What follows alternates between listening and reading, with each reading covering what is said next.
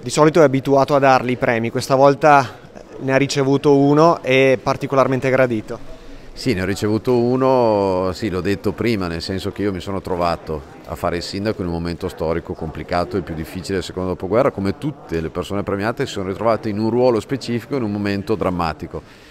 È anche vero, e l'ho voluto sottolineare, come questo è un riconoscimento che va al sindaco, ma veramente in questo caso più che ogni altra volta, al sindaco come espressione di una comunità perché questo è un premio che tutti i veronesi si sono meritati, perché i sacrifici che ognuno ha dovuto fare, penso alle mamme in smart working con i bambini a casa, dalle, bambini piccoli a casa da, da, seguire, ai nostri ragazzi a casa da scuola che non potevano andare in presenza a giocare, a trovarsi con gli amici, alle persone anziane a casa da sole. Tutti hanno fatto dei sacrifici e tutti sono stati chiamati senza volerlo